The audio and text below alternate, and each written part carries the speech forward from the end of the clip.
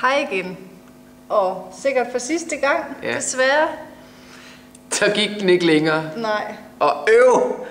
Men altså, det var hold fast. så øv. Ja. Vi, vi gjorde alt, vi kunne. Vi dansede alt, hvad vi kunne, og Ja. du gjorde det super godt. Og hvilket du har gjort i, altså, i ni uger. ja, det er så vildt. Du, Altså, du har lært 13 danse. ja. 13 danse.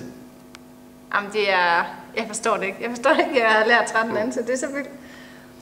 Men jeg er også altså, jeg er helt vildt glad for, at vi er nået så langt. Altså virkelig.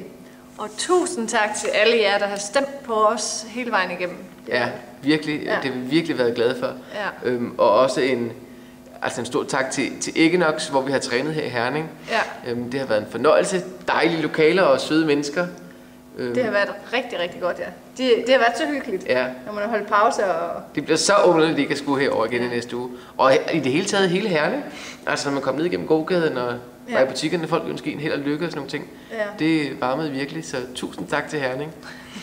og hele, altså, hele dit arbejde og din mand og børnene og det hele, de har været Ja. søde også. Jamen, alle, alle har bare været så søde hele vejen igennem. Altså virkelig øh, bakket os op 100 procent. Og det kan jeg da også mærke, det har været rigtig, rigtig dejligt. For det skal man virkelig nyde dansen og bare Ja. ja. koncentrere sig om det. Så dejligt. Men vi er jo altså med i finalen og skal danse en lille sekvens Ja, øhm, på fredag også. Øh, og så skal vi lave et, et finale nummer. Øhm, så, så lidt er vi med. Øh, Ja.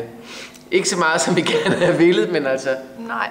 Og så er vi jo i, i City 2 øhm, i København, på, eller i Tostrup på, på lørdag klokken mellem 14 og 15, hvor vi giver show sammen de to andre mm. øh, semifinalfinalister, eller finalisterne. Ja, det er bare os, der ikke er det det. vi er sådan lige med.